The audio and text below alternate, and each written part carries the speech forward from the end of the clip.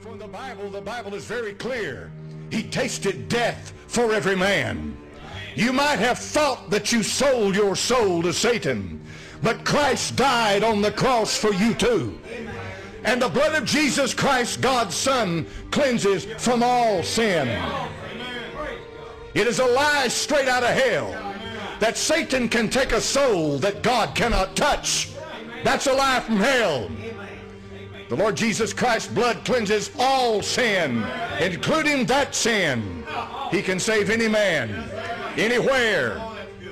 God Almighty, through the Lord Jesus Christ, is the Savior of mankind.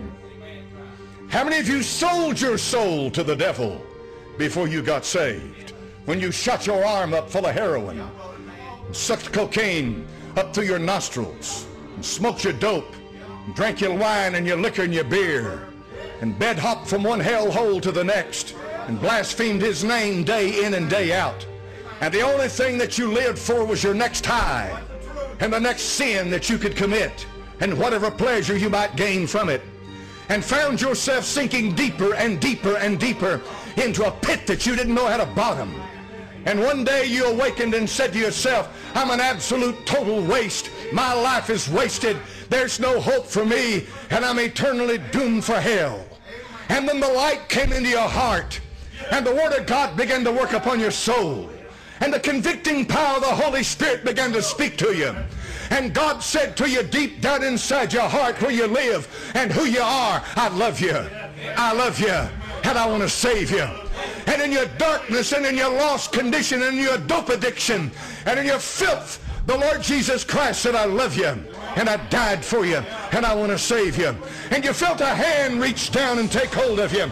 And in your heart, you were able to reach up and take hold of that hand. And the very moment that you took hold of his hand in faith, he lifted you up out of that pit of hell. And he saved your soul. And he set your feet on a solid rock. And he wrote your name in the Lamb's book of life. And you became a child of God by the new birth. And Satan didn't like it a bit. But there wasn't a thing he could do about it. Amen. That's what the new birth is about. And none of it had anything to do with what you thought about yourself. It all had to do with what Christ did for you. Amen. God never one time told you to begin to see yourself in a different light and to try to straighten up the mess you were in and to stop doing this and stop doing that. He said, I've come to you and I want to save you right where you are. Amen. And that's exactly what he did. Charlotte Elliott said, just as I am, without one plea but that thy blood was shed for me. So the saving grace of God is a powerful thing. The light comes on. When the light comes on, God's work has begun. The moment the light comes on, you begin to see yourself as God sees you. Not as the world sees you. Not as the church sees you. Not as the preacher sees you. Not even as you see yourself. You see yourself as God sees you. When the light comes on, it's the power of the Holy Spirit of God to shine light into a darkened world. It's the power of the Holy Spirit of God to speak to a deaf ear. It's the power of the Holy Spirit of God to bring life into nothing but a dead corpse. That convicting power of the Holy Spirit of God is the most wonderful thing in the world. For without the convicting power of the Holy Ghost, there'll never be repentance and saving faith. But the moment that convicting power comes into the soul of a sinner, something marvelous takes place. A marvelous thing happens. For the first time in that sinner's life, they see themselves as God sees them. And that's all that they need to see. For then they realize that even though they are as low down as they can be, and as lost as you could be, and as deep in sin as one could possibly be, and without hope as one could possibly be without hope. And the truth of the matter is that without Jesus Christ, you are absolutely hopeless and helpless. But when that convicting power of the Holy Spirit comes down and speaks into the heart of the sinner, the light is turned on. And now you're communicating with God. And God is saying to you, I love you. My son died for you. He shed his blood for you. He'll forgive you. He'll save you. He'll lift you out of this hell you're in and write your name in the book of life. And if you believe God, agree with God, and accept the truth of God as it comes to you as a sinner, something marvelous indeed takes place. And that is that that truth that you've received from God about yourself and who you are, which is the convicting power of the Holy Ghost, begins to work a miracle inside you. For that light begins to shine in darkness. That love begins to break that hardened heart. The power of God is breaking the power of hell. The chains of hell begin to fall off of the guilty sinner. And the love of God now has reached down, way down, deep down into the heart of an ungodly, lost, hell-bound child of hell. But they realize there's one greater than them, one that loves them, one, my friend, that wants to save them. And however weak that faith may be, it doesn't take a great deal of faith. It simply takes trust in God, believing Him, calling on His name. When you realize you're in a condition like that, and cry the words, Lord Jesus, have mercy on me, a sinner. Immediately something happens. It's called the new birth. It's a miraculous transformation from a child of hell to a child of God. All of a sudden, the light floods the soul. The Holy Ghost borns you into the family of God. And from that moment on, you're no longer the same, never will be the same. You're a child of God. Amen. Where's repentance, preacher? That's the day you start repenting. You'll repent more the next day than you did the first day. A week later, you're still repenting. A month later, you're still repenting. A year later, you're still repenting. You'll find yourself driven time and time again down on your knees, crying out to God and saying, Lord, God, was all that in me? Was all that in my heart?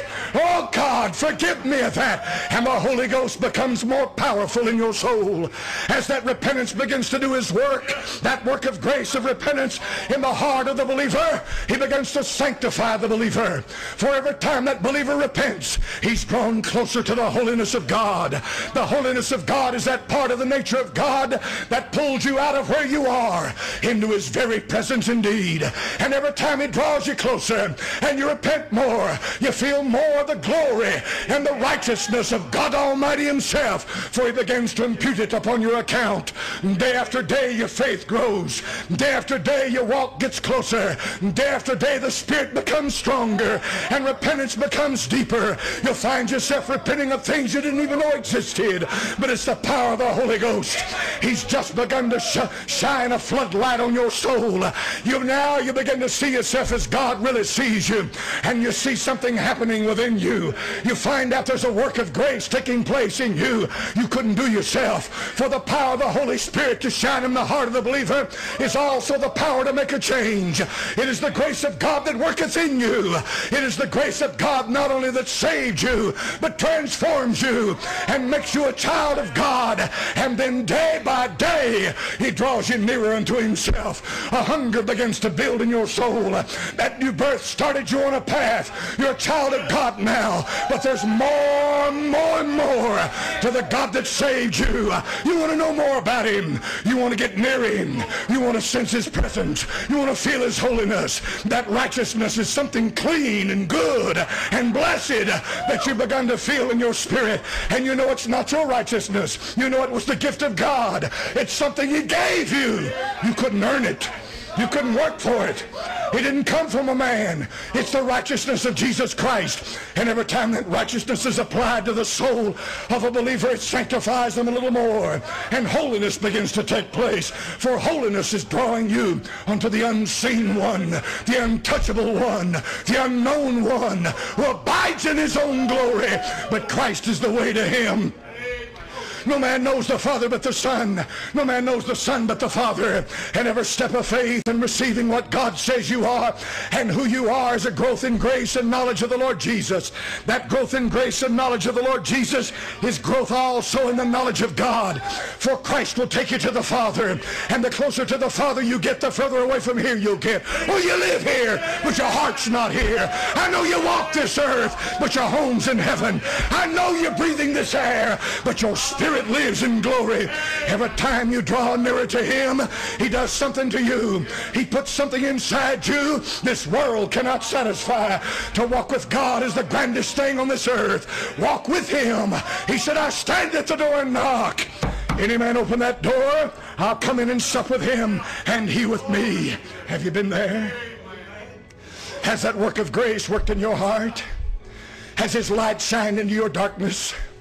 God never told you to feel good about yourself. He never told you to examine yourself in the sense before you get saved and see what you can do for yourself. That's the power of the work of God, the Holy Ghost, who does it for you.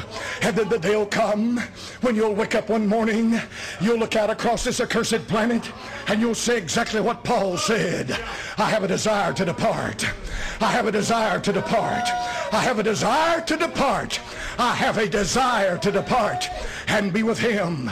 I have a desire to depart and be with Christ, he said, which is far greater. He didn't say that is empty, vain hope. He said that is the desire of his soul. That's the living breath of an apostle of God. That's the heartbeat of Saul of Tarsus, who is now Paul the apostle. I have a desire to depart and to be with Christ, which is far greater. Is it far greater? Well, preacher, I've got a lot I have to leave behind here. What are you leaving behind here? If your loved ones are saved, you ain't leaving nothing, amen. If those that you love are born again, you're going to take them with you. Well, my stuff, what stuff? What stuff? You talk about a bunch of stuff's going to go up in a smoke. It's going to melt with fervent heat. There's no place in heaven for your junk. Amen. He said, I have a desire to depart and be with Christ, which is far greater.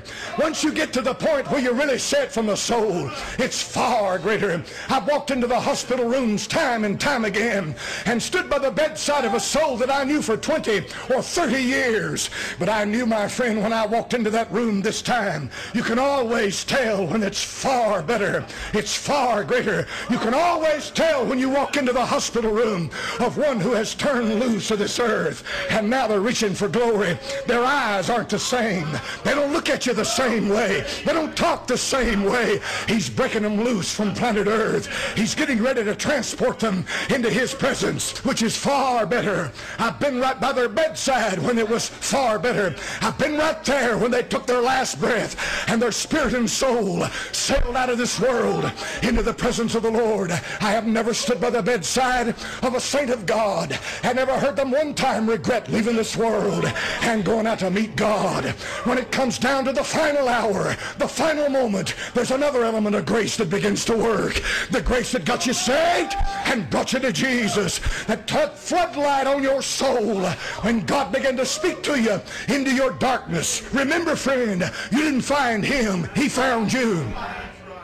If you've never heard his voice, that's because he's never spoken to you. Make no mistake about it. You go ahead and laugh all you please. When he speaks to you, you'll know it. When the Almighty speaks to your soul, you'll hear him. He spoke to mine in 1973. I was 27 years old.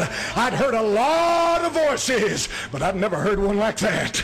I'd never heard one that could talk to me, and I knew I couldn't get away from that voice. I never heard one talk to me like he knew who I, who I was, everything I'd ever done. I never heard one talk to me who knew me from the top of my head to the bottom of my feet like this one did. And when that hour comes, when that hour to depart, as Paul said in 1 Timothy chapter number 4, he said, I am I'm ready to depart and be with Christ. He said, I am now ready to be offered up. He said, the time of my departure is at hand. I've seen that grace work time and time again. They get visions sometimes. They talk about beautiful cities on the other side of a river. They talk about mountains with streams of water flowing from them. They talk about angels and loved ones. They talk about moms and dads that have been gone for 30, 40, 50, 60 years. Or a child that they carried out to a graveyard and that little one shows up in that room. You call it whatever you please. I'm going to tell you something. God turns on the grace when a saint gets ready to leave this world. The Bible said precious in the sight of the Lord is the death of his saints. Amen. I tell you it's precious. You ever been in a room and hear them howl? You ever been in there and see them cra- scratch and claw? You ever seen the terror across their face and their eyes when they weren't ready to meet God? I have. I have. I've been there as much as any doctor in this town. I've watched them die without God God. I've watched them die with no hope. You want to be there. You want to be next to their bedside. There's a spirit in there that you don't impart of. It's as cold and dead and foreign as it can be. And to think that that soul has just gone into eternity lost without God. Take me back to the room of a saint. Take me into the chamber of that one who loves the Lord, who's lived out their days, and their time is at hand. Paul said, my time is at hand. I'm ready to go. Amen? Grace for him. I don't have that grace tonight because it's not time to go yet. A time or two I've had a feeling like I thought I was about to leave. What happened to you, preacher? Didn't fear, didn't even, my heart didn't even race. I said, Lord, if I'm leaving, I'll see you. I'm ready to go right now wherever it might be. Now that's not a fool talking. That's confidence in knowing that I'm saved. I know I'm born again. In the flesh, I'd like to live as much as any man would. But I know whom I have believed. I'm persuaded he's able to keep that which I've committed to him against that day. I know where I'm going. If it so happens that I out, outstretch you in this life, I'll leave this old world in the next few days. They roll my old earthly frame down here and put it in a casket for the folks to come by. Remember one thing. I'll be looking down while you're looking down. Amen. You look down at my old mortal flesh, I'm going to look down at you from above. For I'll be in heaven. Don't mourn for me. Don't cry for me. Cry for those that don't have Jesus. Cry for those that don't know him. Cry for those that are playing games. Cry for those who live like they're going to live forever. Cry for those who make a mock at sin. Cry for those who've heard the gospel and reject Christ over and over and over again. For we're just about at the end of the way. It's all just about over. It's about finished, folks. It's about finished. Here and there is a little oasis of truth. Here and there, a church of God preaching the truth. They're here. They're there. They're all over the place. God's got his 7,000 have never bowed the knee to Baal. You mark it down. This great land at one time had multiplied millions upon millions upon millions of believers. It still has hundreds of thousands, tens of thousands, even millions of true born-again believers. But it'll all change soon. It'll change in a moment, the twinkling of an eye. I preached to you tonight about conviction. You don't hear much about it. I preached to you tonight about what the Bible says about Bible conversion. You don't hear much about it. What you hear is one, two, three, believe after me. Quote these words and you're all right. Pray this prayer and you're saved. Pray the, the, the sinner's prayer and everything's all right. No, it's not, friend. And it's not with you. If it were all right with you, why are you still searching for something? I don't search for anything. I'm happy. I know the one who found me. Well, what is it then, preacher? Salvation is of the Lord. He initiates it and brings it to fruition. He starts it, not you. You say, well, preacher, I have a desire in me tonight to know God. Well, he put that in there. You say, preacher, I want to hear the truth. You just heard it. Well, preacher, can I be saved? Any man can be saved. Tasted death for every man. You can be saved. That includes you. That includes me. Has it ever come on? Have you ever seen yourself the way God sees you? That's what's important. Have you ever really? Because if you ever really see yourself as God sees you, you can't wait till you find somewhere to get down on your face and get right. The only way you'll ever know the Lord Jesus Christ is through the path of sin. You'll acknowledge that you're a sinner. You'll acknowledge that your sins have condemned you. And you'll acknowledge that He is the only remedy for your sin. You'll come to Him as a condemned sinner. You'll cry out to Him for mercy. And His blood will cleanse your sins away. That's the only way you'll ever be able to approach into the presence of God is to redeem the sinner. How my friend was born in 1946 and showed up on this earth earth. Why, my friend, have you got any idea how many people lived and died before I ever showed up? Do you understand how long human history has been on this earth before this little insignificant nothing showed up in 1946? And yet he came down to my soul.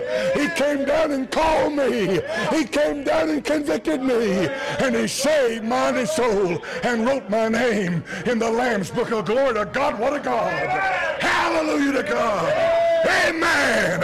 What a God we serve. That he would come and call my name. The Apostle Paul said, He separated from me by, from my mother's womb and called me by his grace. Glory to God. I want you to know that I'll take my place one day with the billions that have met on high as they sing the redeemed, the songs of the redeemed.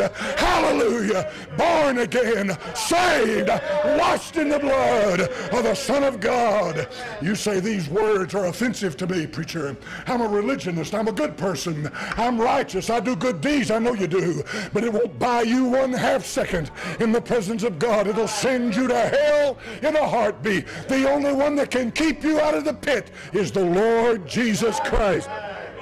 Are you working to make your own righteousness?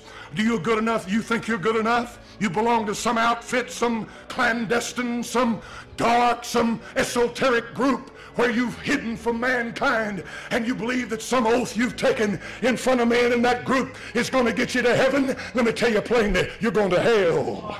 The only name that can get you through glory is the name of Jesus. I don't care how high you are in your outfit. I want to go to heaven, don't you? I want to go to the presence of God one day, don't you? I don't want to go to hell. I don't want to burn forever. I don't want to go down. I want to go up, don't you? Don't you? Do you want to go up or do you want to go down? Do you want to go out in the presence of God Almighty where He liveth forever and ever and ever? Where he creates new universes and new worlds, where all he has to do is say the word and the thing you've never thought of comes into existence.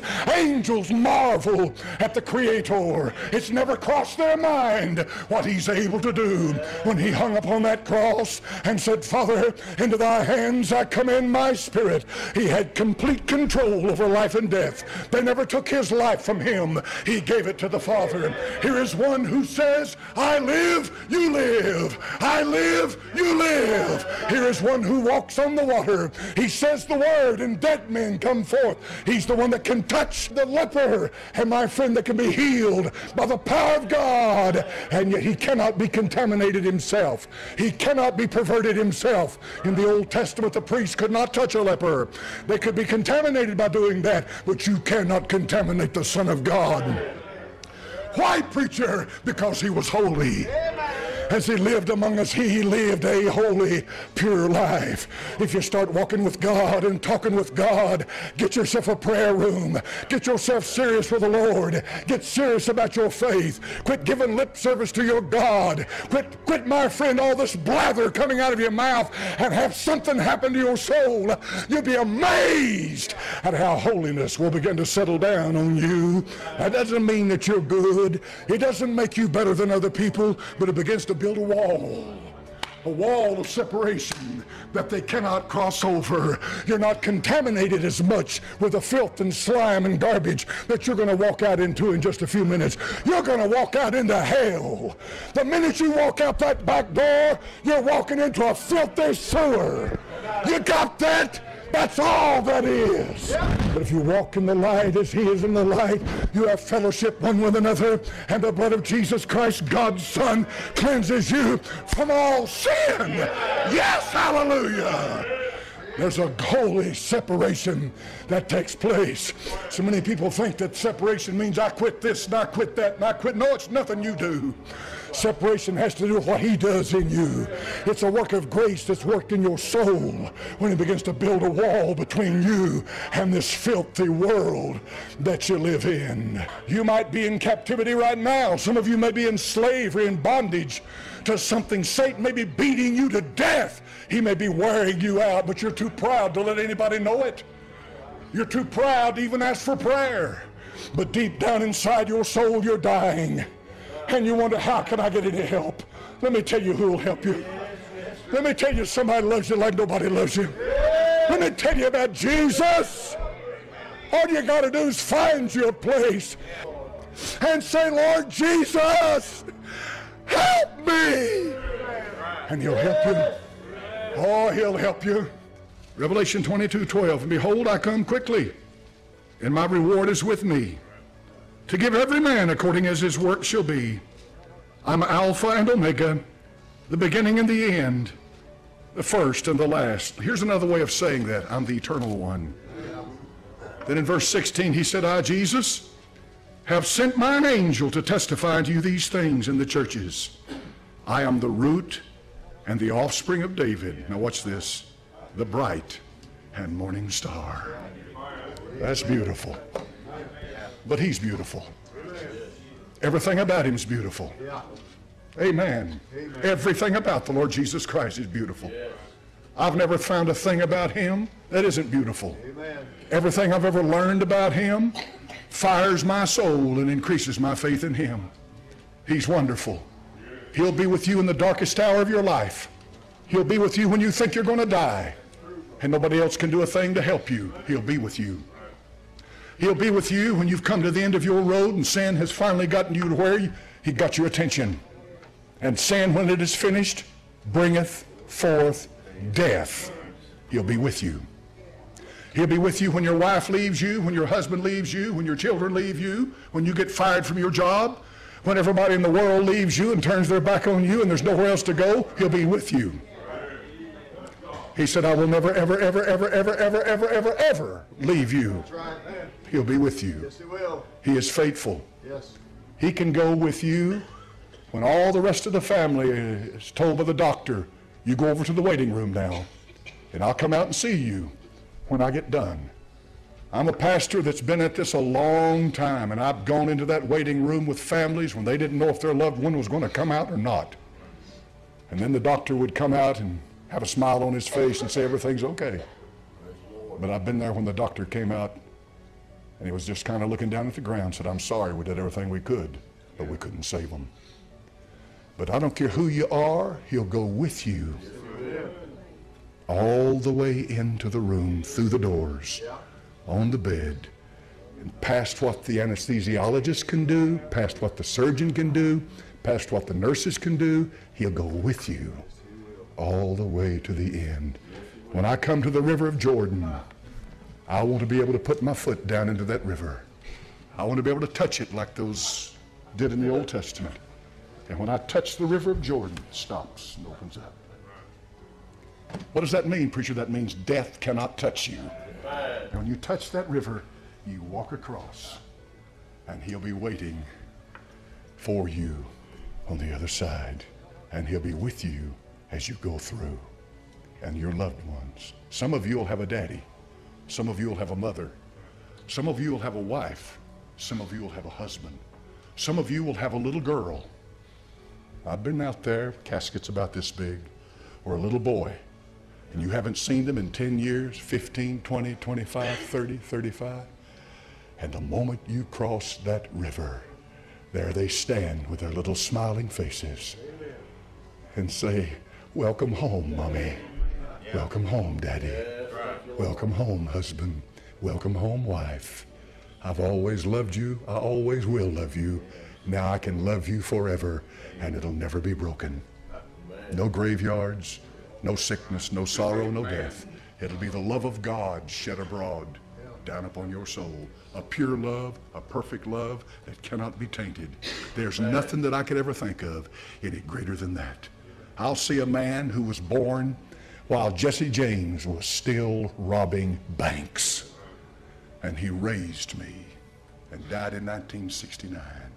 And when I cross that Jordan, I'll see him standing right there waiting for me. You don't think heaven and home will be a welcome home? The only way you'll ever make it to where I'm talking about is through the Lord Jesus Christ. Please understand me. There is no way into heaven but by the Lord Jesus Christ. Father, in thy name we pray. Bless your holy word. In Jesus' name I ask it. Thank you for coming in here. Thank you, Holy Spirit, for breaking the power of hell that came down upon us. Thank you for showing up. Thank you for blessing your word.